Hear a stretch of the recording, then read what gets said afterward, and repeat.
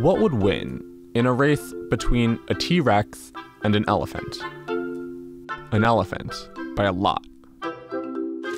We now know that because of a new formula that tells you the speed of any animal, living or extinct, based only on its size.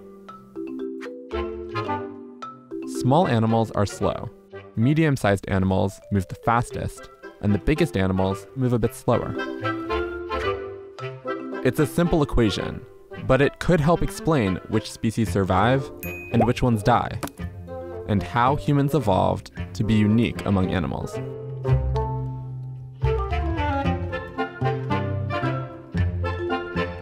The formula comes down to a few basic principles. First, to run fast, animals need stored energy reserves, which requires muscle. And big animals have the most. That is why large animals like lions can run faster than small animals like rabbits. But heavy animals use up their energy reserves fast, which keeps them from ever reaching the speed their muscles could theoretically allow. So at some point, more muscle mass stops being an advantage. Just look at any animal larger than a cheetah. That extra weight is why lions can't outrun cheetahs, and why elephants don't even come close. And that rule applies in the air and in the water too. It's the same reason the biggest birds and the biggest fish aren't the fastest. And other factors, like whether an animal is warm or cold blooded, can also have a minor effect.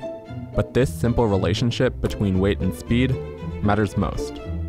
So, why does this matter?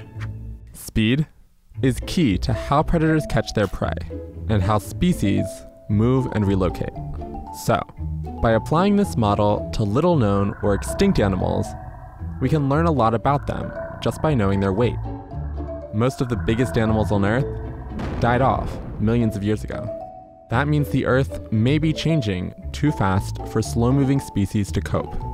And it could mean those giant species had some incredible adaptations we still haven't discovered, which enabled them to thrive despite being so slow.